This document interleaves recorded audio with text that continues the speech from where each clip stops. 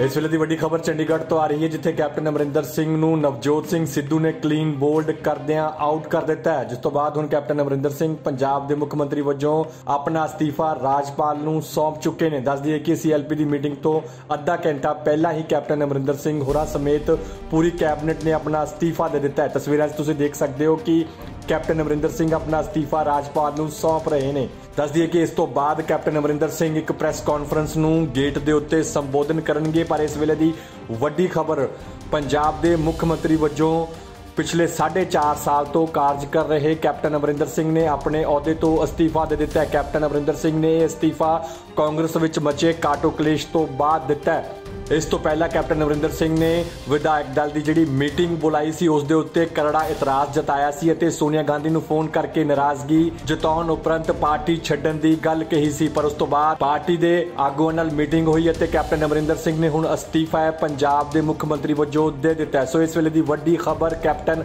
ਅਮਰਿੰਦਰ ਸਿੰਘ ਨੇ ਆਪਣਾ ਅਸਤੀਫਾ ਰਾਜਪਾਲ ਨੂੰ ਸੌਂਪ ਦਿੱਤਾ ਹੈ। ਕੈਪਟਨ ਅਮਰਿੰਦਰ ਸਿੰਘ ਦੇ ਅਸਤੀਫੇ ਤੋਂ ਬਾਅਦ ਹੁਣ ਸਭ ਦੀਆਂ ਨਜ਼ਰਾਂ ਵਿਧਾਇਕ ਦਲ ਦੀ ਮੀਟਿੰਗ ਤੇ ਲੱਗੀਆਂ ਹੋਈਆਂ ਨੇ, ਕਿਉਂਕਿ ਵਿਧਾਇਕਾਂ ਨੇ ਆਪਣਾ ਨਵਾਂ ਜਿਹੜਾ ਲੀਡਰ ਹੈ, ਉਹ ਚੁਣਨਾ ਹੈ। ਲੀਡਰਾਂ ਦੇ ਵਿੱਚੋਂ ਜਿਹੜਾ ਪ੍ਰਤਾਪ ਸਿੰਘ ਬਾਜਵਾ, ਨਵਜੋਤ ਸਿੰਘ ਸਿੱਧੂ ਅਤੇ ਸੁਨੀਲ ਜਾਖੜ ਦਾ ਨਾਮ ਸਾਹਮਣੇ ਪ੍ਰਮੁੱਖਤਾ ਨਾਲ ਆ ਰਿਹਾ ਹੈ। ਦੱਸ ਦਈਏ ਕਿ ਇਸ ਵੇਲੇ ਦੀ ਵੱਡੀ ਖਬਰ ਚੰਡੀਗੜ੍ਹ ਤੋਂ ਆ ਰਹੀ ਹੈ, ਜਿੱਥੇ ਕੈਪਟਨ ਅਮਰਿੰਦਰ ਸਿੰਘ ਨੇ ਪੰਜਾਬ ਦੇ ਮੁੱਖ ਮੰਤਰੀ ਵਜੋਂ ਆਪਣਾ ਅਸਤੀਫਾ ਰਾਜਪਾਲ ਨੂੰ ਸੌਂਪ ਦਿੱਤਾ ਹੈ।